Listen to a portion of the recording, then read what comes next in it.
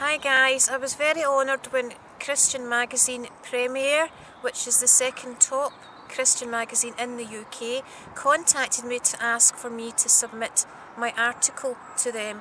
This is the second article I've submitted to them and it's on Wicca. And I would just like to read it out to you today.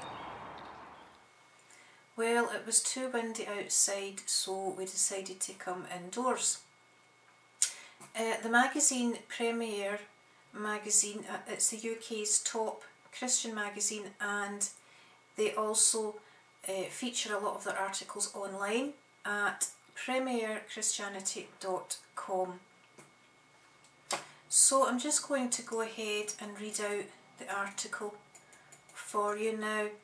Um, it was actually printed on April the 30th so it was a little while ago and I'm a bit late in getting this video up up and on there but here we are now. So um, they advertised it by saying Laura Maxwell blogs on the truth about Wicca. There's been an explosion of interest in witchcraft but here's what the media aren't telling you. So that was how they titled it. And you know, even before I read it out, I just want to say that, as you know, if you're familiar with my work, I am not writing or speaking out of being judgmental. Um, I am an ex-New Age spiritualist myself, and in actual fact, Wicca would have been a faith that would have really attracted me. In fact, I'm pretty sure I would have got into Wicca myself had I not uh, became a Christian.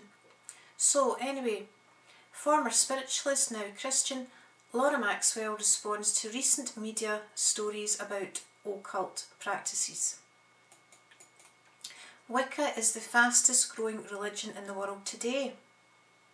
That's according to Professor Ronald Hutton from the University of Bristol. He was speaking on the Channel 4 programme A Very British Witchcraft which aired March 2018. As Wicca has grown, so has the media interest surrounding it. For example, The Telegraph recently featured the stories of two young Wiccans. Like many, witchcraft ran in their families. We see this mirrored throughout the Bible with hereditary witchcraft and occultism. The article titled Meet the Modern Hipster Witches even described how to create your own potion during a full moon. There have been other stories about witches around the world um, attempting to cast binding spells on President Donald Trump, attempting to stop him taking political action they regarded as negative. Media interest has fueled Wicca's explosive growth in our culture, popularised by books and movies such as Harry Potter, The Craft and others. There are now innumerable websites selling not only spell books, candles and crystals, but statues of ancient gods, goddesses, Hindu and Buddhist gods, as well as altar tables and ritual tools. Wiccan novices no longer need to join a local coven. They can easily teach themselves online, becoming solitary practitioners. Sometimes the media describe Wiccans by using false and patronising stereotypes Wiccans aren't restricted to groups of female teenaged goths. Indeed, people from all walks of life, including professionals, embrace the craft, also known as craft of the wise.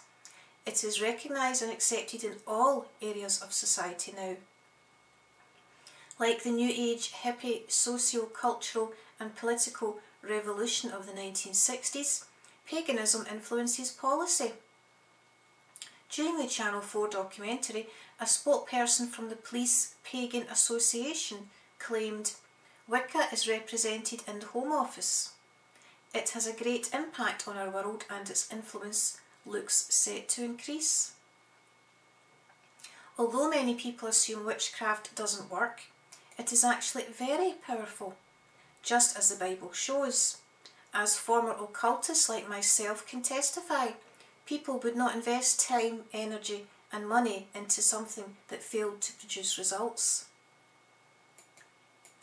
Growing interest. According to the most recent government census in the UK, 50,000 people call themselves pagans and 18,000 identify as Wiccans, Druids and heathens. Many expect these figures to be higher and to double by the next census just two years from now. Wicca is often regarded as a neo-pagan, nature-based spirituality, teaching we are all divine and aiming to show love and respect for all. It's easy to see its attraction. However, Wicca is actually far more than this.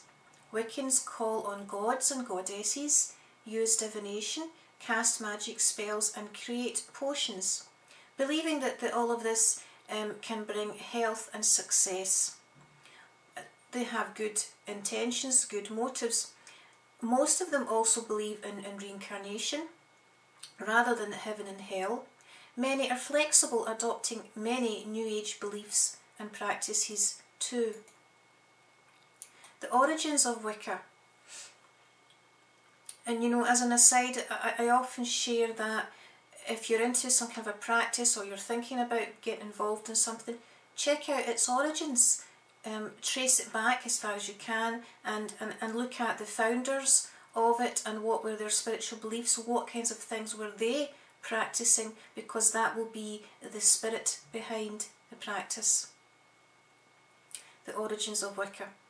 Phyllis Curott, a prominent pagan US leader, described Wicca as an amalgamation of Freemasonry, mythology, pantheism, transcendentalism, feminism, spiritualism, Buddhism and shamanism. Wicca was created in the 1940s by occultist Gerald Gardner. Combining aspects from the above list I, just shared with various aspects of the occult. He travelled Asia, studying tribal religions, so, so Wicca isn't an ancient religion predating Christianity as many claim, but a form of syncretism, an eclectic blend of old and new spiritualities. Even more concerning, Gardner incorporated many of the practices of Aleister Crowley the world famous occultist, self proclaimed as the Great Beast and wickedest man in the world. Crowley and his coven indulged in a secret and hedonistic lifestyle. He admitted in Confessions of Aleister Crowley that Satan was his master. Before his death, he chose Gardner to become the heir to his occult society. When the Witchcraft Act was abolished in 1951, Gardner quickly and successfully worked to promote Wicca worldwide via the media. The Christian response. The Bible provides very clear instructions for Christians when it comes to the occult. God says in Exodus 20 verse 3, You shall have no other gods before me. And in Deuteronomy 18.10, to 11, Let no one be found among you who sacrifices their son or daughter in the fire, who practices divination or sorcery, interprets omens, engages in witchcraft or casts spells, or who is a medium or spiritist, or who consults familiar spirits. Looking at that passage there, you can see that Wicca ticks a few of those boxes not sacrificing their son and daughter in the fire, I must um, emphasise before people start to, to email me. Um, all through the Bible, God warns such practices bring curses to us and our offspring, not blessings. Do not turn to mediums or seek out spiritists, for you will be defiled by them. Leviticus 19:31. In Acts 19:17, Former occultists burned their witchcraft books when they came to Jesus. In Acts 16:16, Paul cast a demon of divination out of the young woman who earned money for her slave owners by fortune telling. Today, many former pagans or occultists, like myself, have testified to having had demons cast out of us after turning to Christ and receiving deliverance from all of the occult practices we once were involved in. Bible teaching is clear. At the same time, sharing one liners about hell and worshipping demons will only turn Wiccans and other spiritual seekers away. You have to use wisdom. Instead, we must pray for them, show them love and respect. God wants everyone to come to repentance. 1 Peter 3 9. Because Wiccans and other occultists are interested in powerful spiritual experiences, there is an open door for us to share the life changing power of God with them, just as the apostles did in the book of Acts. But to our shame, many of our churches reject them, turning them further away from Christ. So let's be friendly, let's be a light. Matthew 5:13 Responding with love and compassion will draw many to Christ. So that was my article and I used several books as references. I'd just like to quote them here. Obviously the TV programmes mentioned. And you know, remember, someone uh, read this on my blog and said how they felt it was quite amateurish. Um, and I kind of thought that was funny because I didn't write it in a sense. I'm using these different sources and one of the main sources I used was a professor um, at the university that I mentioned earlier. Um, and he obviously really studied Wicca. Um, he was neither for it nor against it. I think he was probably for it, so why would it be amateurish when you're using those sources? So, you know, the books I used from The Craft to Christ by S.A. Tower, and that includes testimonies of former Wiccans and witches. And it's published by Dwell Publishing. 2014. Generation Hex by Dillon Burroughs and Maria Alupoaicei, Harvest House Publishers 2008. Wicca's Charm by Catherine Edwards Sanders, Shaw Books 2005 and Spellbound, The Paranormal Seduction of Today's Kids by Marcia Montenegro, published by David Cook 2013.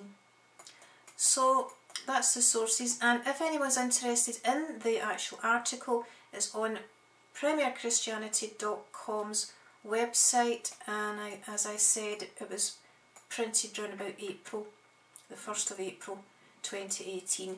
If, if you're wanting to check it out, send it to anyone. It's on my blog there too. And again I just want to emphasise um, I was a New Ager, I was a spiritualist, I was very much into pagan things, so I am not sharing this to attack Wiccans in any way, shape or form. Uh, I'm just sharing a little bit more about it, about its roots, um, about what it's based in, and also about my faith in Jesus Christ and how He is the way, the truth, and He can set you free from spirits if you get attacked by spirits as many people do when they are dabbling in these things. So thank you so much for watching. My blog is ourspiritualquest.com. Thank you again for watching and God bless you.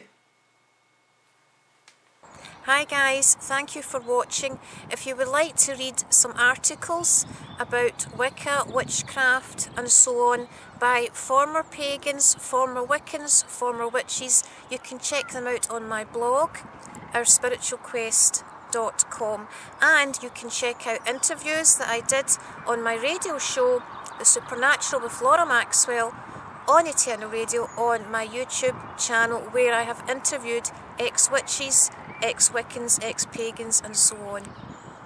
Thank you so much for watching today and God bless you.